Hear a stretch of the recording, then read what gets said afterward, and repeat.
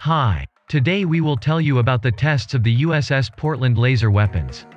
Pearl Harbor, Hawaii, amphibious transport dock ship USS Portland LPD-27 successfully disabled an unmanned aerial vehicle UAV with a solid-state laser technology maturation laser weapon system demonstrator LWSD Mk2 Mod 0 on May 16.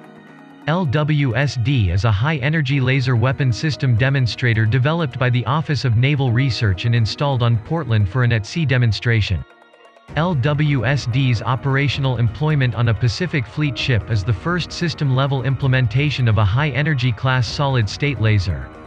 The laser system was developed by Northrop Grumman, with full system and ship integration and testing led by NSWC Dahlgren and Port Hueneme. By conducting advanced at-sea tests against UAVs and small crafts, we will gain valuable information on the capabilities of the solid-state laser weapons system demonstrator against potential threats, said Captain Karrey Sanders, commanding officer of Portland. The U.S. Navy has been developing directed energy weapons DEWs, to include lasers, since the 1960s.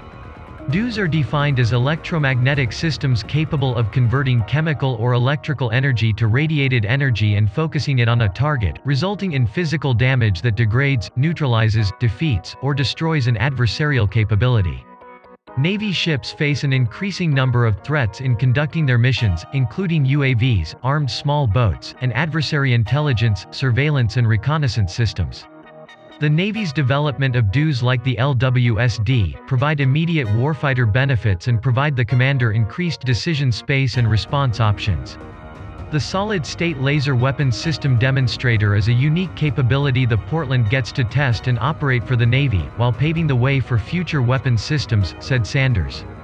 With this new advanced capability, we are redefining war at sea for the Navy. Portland is the 11th San Antonio-class amphibious transport dock ship.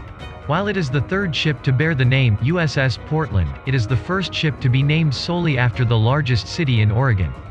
Thank you for watching this video to the end.